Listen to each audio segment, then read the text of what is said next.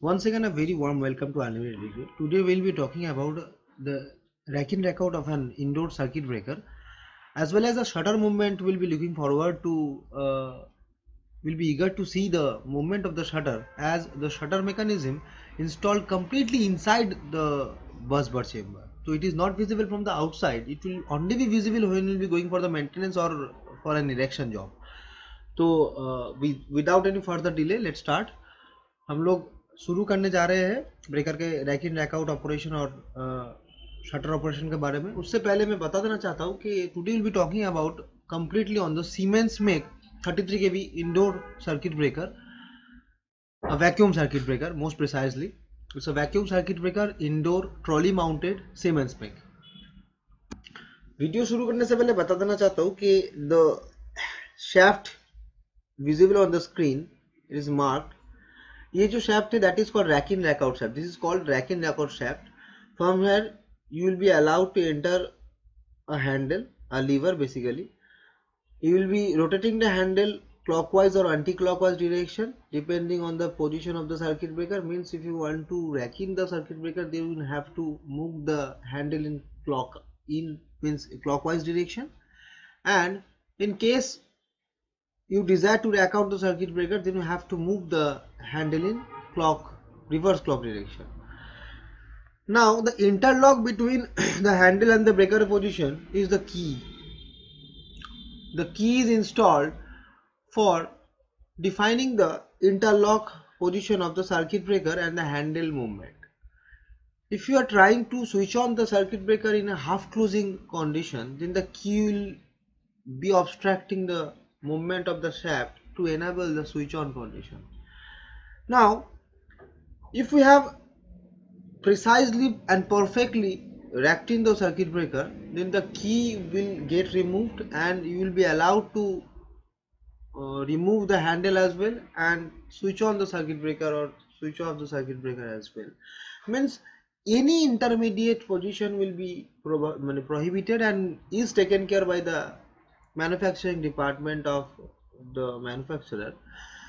And it is basically an operator friendly and operator safety aspect. From operator safety, safety aspect is very necessary to prohibit such intermediate operation as it's very dangerous to switch on the circuit breaker in half closing operation. Now we'll be demonstrating the uh, racking operation of the circuit breaker.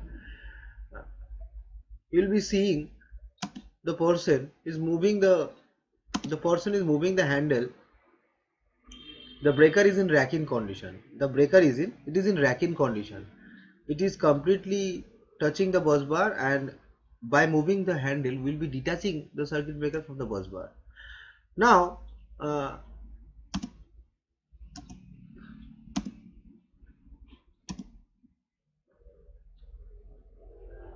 the person is moving the handle anti-clockwise direction and the breaker is coming out from the bus bar chamber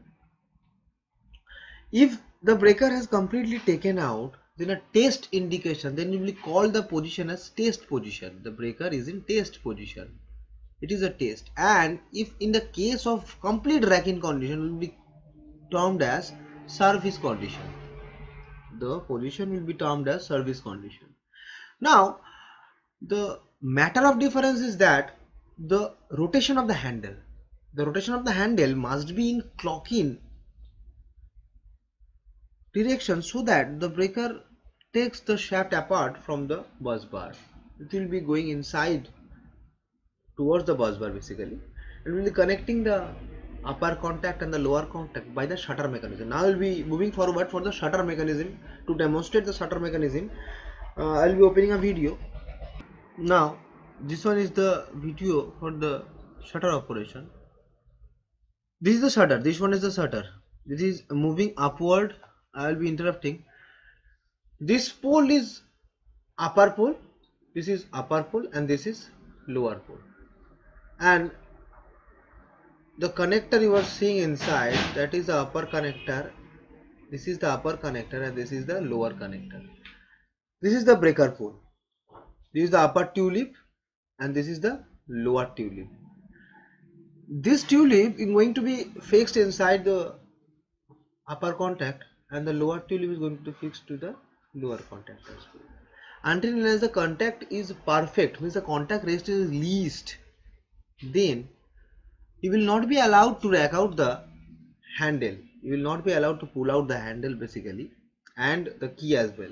You will not be allowed to switch on the circuit breaker moreover the shutter operation is basically given to protect the operator from any flashing or any flashover during the intermediate position of the breaker operation so the shutter operation is very necessary and the shutter is moving with the shaft installed both of the side of the CV frame. Now look the video